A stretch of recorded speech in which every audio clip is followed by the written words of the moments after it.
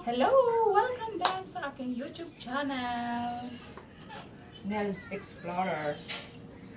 Ngayong araw na to, dahil hindi ako makapag-explore sa labas, tuturuan ko na lang kayo na mag parami ng money plant at kung paano siya padamihin at paano siya maging makintab ang mga dahon. Kasi ang lucky plant ay maswerte siya sa loob ng bahay.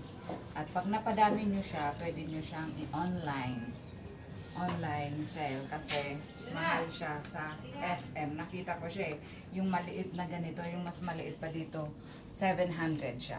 Kaya naisipan ko na ituro to sa inyo. At ano yung gagawin natin? Paano natin gagawin? Una, mag-prepare kayo ng lupa. Yung mataba na lupa. Itong ginamit ko na to is loam soil. Loam soil ang ginamit ko dito. Tapos, ngayon, ang pinaglagyan ko, meron siyang butas dito sa ilalim para pag diniligan nyo siya, um, matatanggal yung tubig, hindi may stuck yung tubig dyan. So, maiiwasan ang pagkabulok ng halaman. Okay. Meron ako na nito, nasa lalagyan na. Ngayon, ikakat ko siya kasi isang isang paso pa lang ano paglagyan ko. Gusto ko siyang paramihin. Tapos, pag dumami na siya, pag lumaki na siya ng ganito, pwede nyo na siyang iripat sa ibang lalagyan na mas malaki at mas maganda dito. Ito mga disposable glass muna. Ngayon, ikakat ko siya ganito. Cuttings ang tawag dyan. Kasi madali nang tumubo yan. Mabilis na siyang tumubo kasi may ugat na siya eh. Hindi na kayo mahirapan. Cuttings. Yan. Meron akong apat. Meron akong limang baso. Ngayon, gagawin ko siyang lima. Hmm. O, itong pinagkuhaan ko, tuloy-tuloy lang ang grow niya. Kasi meron na siyang ugat. Stable na siya eh. Tapos ngayon, ilalagay ko na siya sa dito. Bubutasan nyo lang, medyo malalim ng konti. Tapos ilulubog nyo siya. Ito mabilis na siyang tumubo kasi meron na siyang ugat. Yan. Yan. Pagagandahin nyo lang siya. Tapos, ang ipangdidilig nyo dyan, yan. Pwede nyo na siyang ibenta online. Ngayon. Mabilis nang tumubo yan. Ayan, napakaganda na. Mm. Mabilis siyang dumami.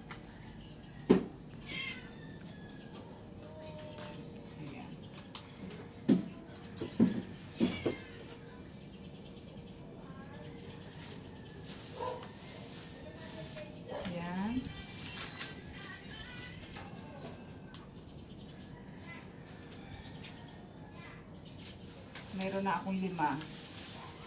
Oh, nakagawa na ako ng lima. Tapos pag lumaki na siya, katulad nito yung kanina, nung hindi ko pa siya nakat, ilipat nyo na siya sa ibang lalagyan. Tapos, ang ipang didilig nyo dito ay urea. Yung urea is yung kulay white siya na powder, kakanawin nyo siya sa tubig. Tapos, wala akong ganon. Ngayon, ang ipapakita, ang ipa, ididilig ko na lang dito is yung ginawa ko na balat ng daho, balat ng saging. Kinat ko siya. Tapos nilagay ko lang siya sa tubig. Tapos yun, didiligin nyo lang siya ng konti.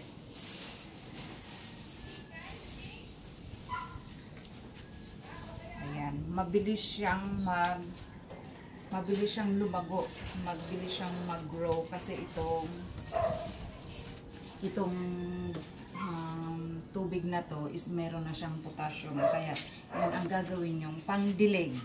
So, ngayon, meron na kayong money plant sa inyong bahay. Isa din to sa pinaka maswerteng halaman sa loob ng bahay. Okay, thank you for watching. Please subscribe my YouTube channel. Bye-bye! God bless sa inyong lahat. Thank you sa lahat ng aking mga subscriber at sa hindi pa nakaka-subscribe, please subscribe my YouTube channel, Nils Explorer. Thank you!